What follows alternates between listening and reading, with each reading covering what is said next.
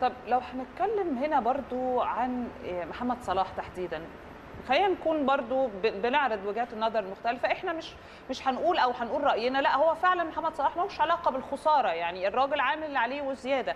ولكن برضو جاله بعض الانتقادات امبارح قال لك لا هو برضو كان ليه دور وهو اللي ضيع مش عارف إيه يعني ليه ليه التركيز أو ليه ليه أصلا اتقال كده عن محمد صلاح مع آه. ان ما كانش مقصر ابدا يعني هو محمد صلاح كده كده يعني أكيد في أي ماتش ممكن يكون موفق ممكن ما يكونش موفق هو ممكن آخر ماتشين مثلا ما سجلش بس ده مش معنى كده إن محمد صلاح آه، بالظبط. يعني لعيب آه، مثلا أس أس يعني أثر في الخسارة أو كده لكن هو محمد صلاح كتير جدا بيصنع أهداف لليفربول كتير جدا بيسجل كتير بي بيقود فريقه لانتصارات مهمة في الدوري الإنجليزي أو حتى في دوري أبطال أوروبا.